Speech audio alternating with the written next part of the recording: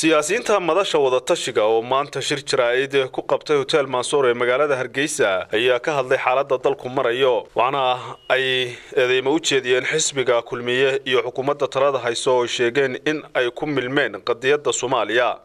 Waxaa muuqata markaa dowladda somalilan inay ka noqotay tan iyo intii maxamed axmed yimid gooniisutaaggii soomaaliya inaga iyo soomaaliya inaga dhexeeyey. Gooniitaaggii somaliland inay ka noqotay ayaa xaqiiqa ah aanuna ku jirin.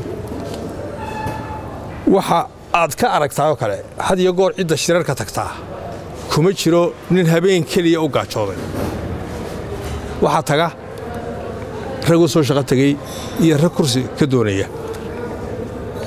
Ayaa taga shirarkaasi. Waa waxaa laga qarinayaa dadka intii ka damqanaysay raggii ogaa maalintaa wixii soo dhacay iyo wixii waddanka ka dhacay. Ninaan habeen u harraadin baa taladeeda ka jira jirta dadku kolkuu wax u kaco waa inuu wixii xaqiijiyaa waxayna soo maray. Waxaa la yidhi muxuu ahaa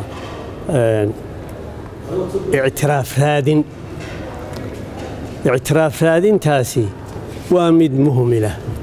Waa mid aan dhab ahayn. Waa mid aan loo jeedinba.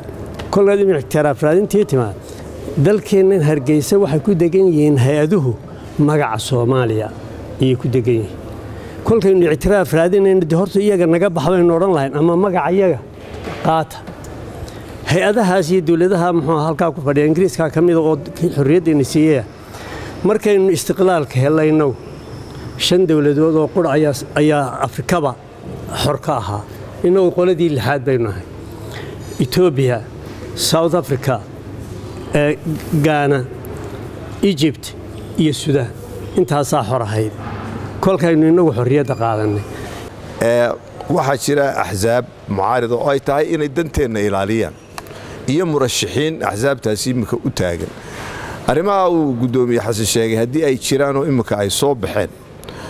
Waxaanu doonaynaa in ay caddeeyaan mowqifka axsaabta mucaaridkaa ee somalilan iyo murashaxiintoodu halkay ka taagan yihiin dhinacan imminka somalilan loo wado waxay doonayaan in ay sidaa imminka mubhamka ah ee aad mooddo inay imminka caddaanaysaba in dhinaca federaalka laynagu sii siqaye layna geynayo inay ku sii socdaan.